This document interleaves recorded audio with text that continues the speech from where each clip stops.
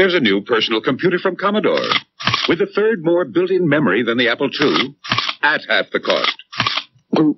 The Commodore 64.